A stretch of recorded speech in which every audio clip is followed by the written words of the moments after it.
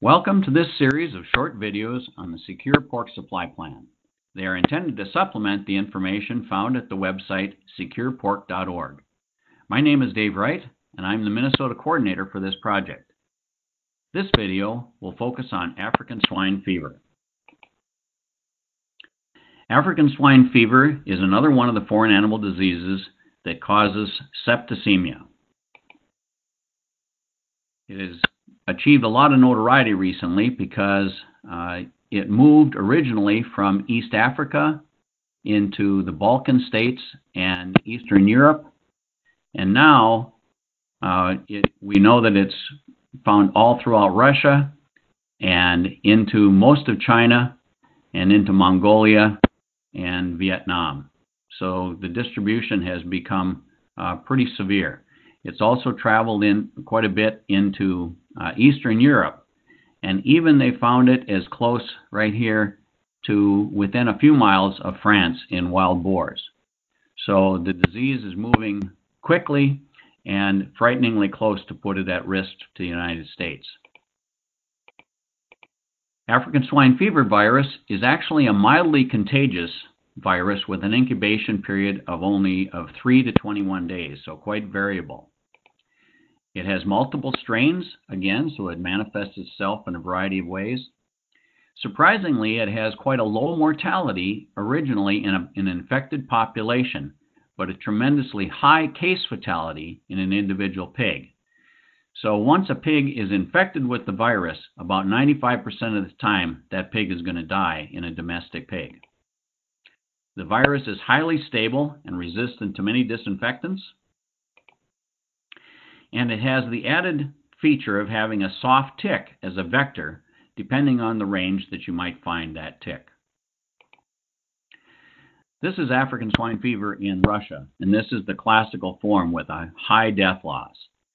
And once it gets into a population of pigs, even if the pigs don't die, those pigs will have to be euthanized and depopulated. So it's a frightening scene for any of us in the United States. The African swine fever virus is found in secretions, blood, and muscle tissue. And it can also be transmitted by eating tissue that's infected with the virus or garbage. Another unique situation with this virus is that there's a soft tick that's an additional host.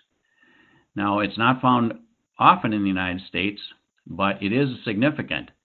And if this little guy, and this is not a hard tick like we've got, it's a soft tick, and but it can bite uh, an infected animal, and then it lives off of the off of the pig. It doesn't live on its host, but it can hide in the burrow for up to five years and bite another pig that would move in and still be infectious. So it's a really unique thing, and that's one of the things that can cause this uh, a wild population of pigs to be provide a silent carrier. Ornithodoros is the type of tick, of the soft tick. But as you can see, although it plays a very high role in perpetuating the problem in Africa, it's only been found in a range in this part of Asia and in this part of Europe. Um, the range in the United States, there are some soft ticks that we have, in the western part of the United States, but it's unknown whether or not they can carry the African swine fever virus. It's a relatively stable virus. Uh, it can be found in frozen meat indefinitely, in dry meat and fat for almost a year, in blood, salted meat, and offal for more than three months, and in manure for more than a week. And it even can survive the putrefaction process in a carcass, so it can remain infectious for weeks if a wild boar dies of, of uh, African swine fever. There are some disinfectants that will work for it. Virkon is perhaps the most uh, commonly used, but you have to use it just as directed in order for it to be effective. It's a very difficult organism to kill. This, combined with the fact that it's a very slow pig to pig contagious uh, problem and the variable incubation period means that it might take a long time to detect it.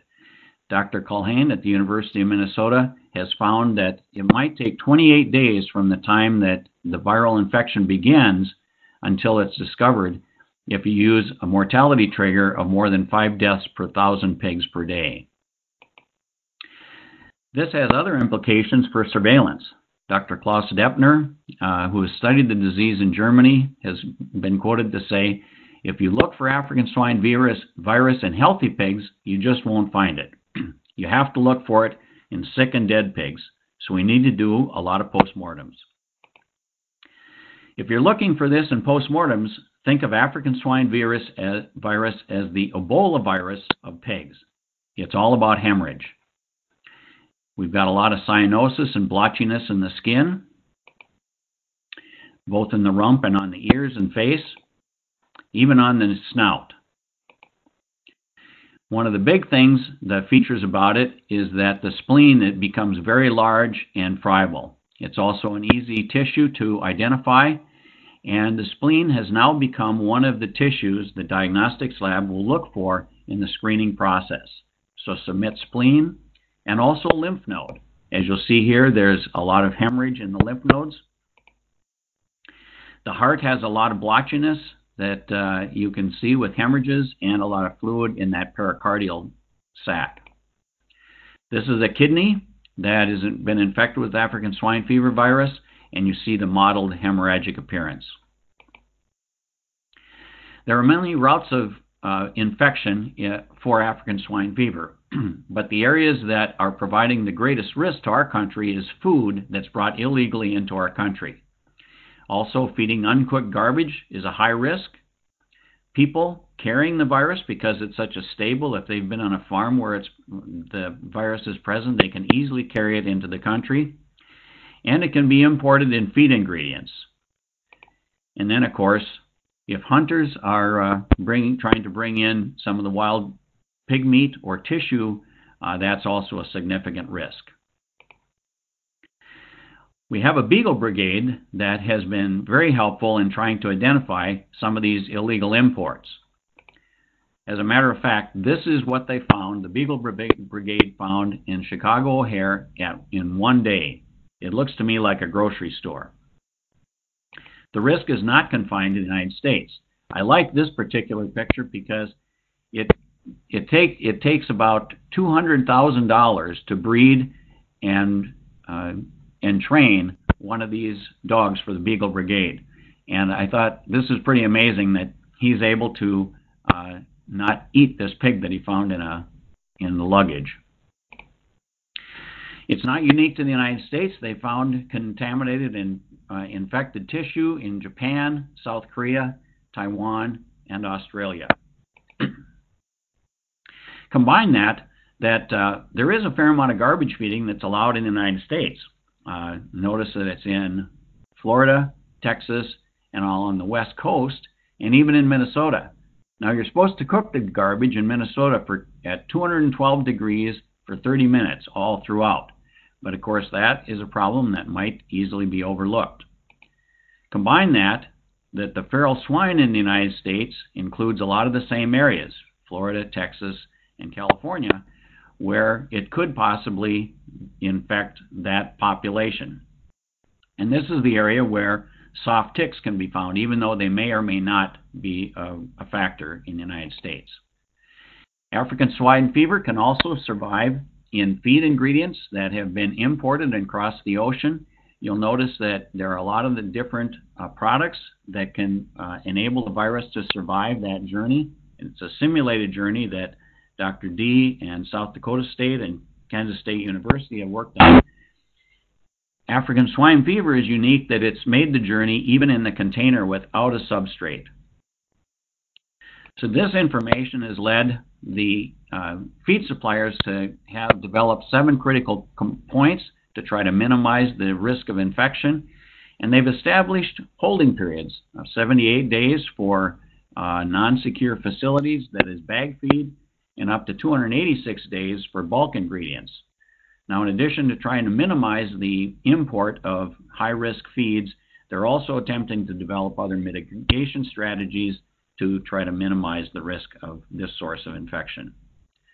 So, to conclude, the risk of African swine fever introduction to the United States is high due to people, international travel, foreign guests, illegally imported meat, and contaminated feed ingredients.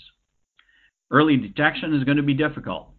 It has a low contagiousness and a low mortality in a population despite a high case fatality. This low prevalence carries other implications. Surveillance must focus on dead and sick pigs, and passive surveillance on healthy pigs is oftentimes unrewarding and is, uh, but still needs to be done.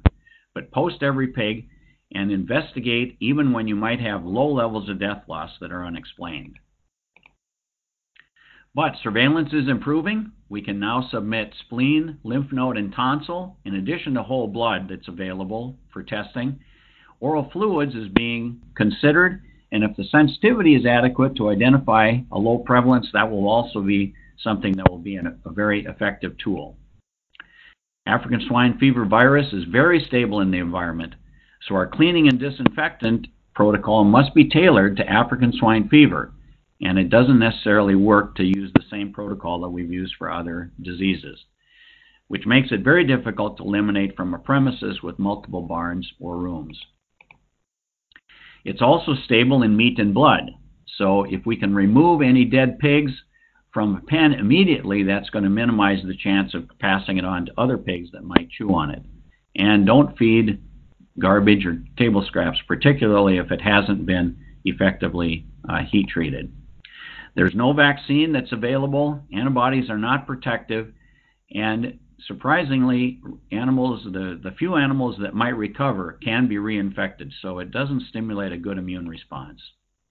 But enhanced biosecurity can prevent site infections. So I'd like to express my acknowledgement and thanks to these individuals for helping provide the information for this video. And this series of videos has been produced with the help of the Minnesota Board of Animal Health and the University of Minnesota Swine Extension staff. Thank you for your interest in the secure pork supply.